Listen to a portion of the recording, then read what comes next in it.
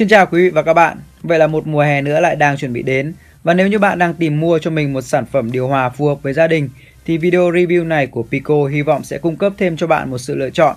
Thiết bị mà chúng tôi sẽ giới thiệu trong clip lần này thuộc dòng Sky Series của hãng Panasonic có model CSVU 9SKH8.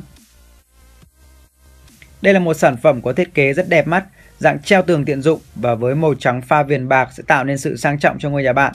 Với công suất 9000 BTU thì thiết kế điều hòa này hoàn toàn phù hợp cho những không gian diện tích từ 14 đến 15 mét vuông. Máy có sử dụng các công nghệ nổi bật như là làm lạnh tản nhiệt, làm lạnh nhanh, lọc sạch không khí và chế độ hoạt động êm. Ngoài các chức năng như các dòng điều hòa khác, chúng ta hãy cùng xem qua công nghệ NanoG. Tính năng này cùng với cảm biến bụi Dust Sensor giúp lọc sạch không khí và quét sạch các phân tử gây hại bám trên bề mặt phòng, cung cấp cho bạn hệ thống lọc khí hoàn hảo. Cùng với đó là công nghệ làm lạnh tản nhiệt, giúp hơi lạnh tỏa đều khắp phòng.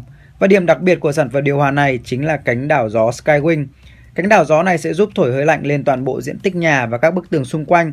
Và cũng chính bộ phận này cũng sẽ giúp bạn đạt khả năng làm lạnh nhanh bằng cách tự điều chỉnh hướng gió tùy theo ý người sử dụng.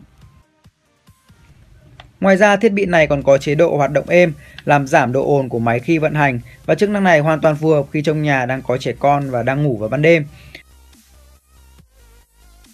Với các tính năng nổi bật như vậy thì đây hoàn toàn là một chiếc điều hòa phù hợp với mức giá không quá cao. Các bạn có thể qua trực tiếp các chuỗi siêu thị Pico để được tư vấn và nhận những ưu đãi khi mua sản phẩm.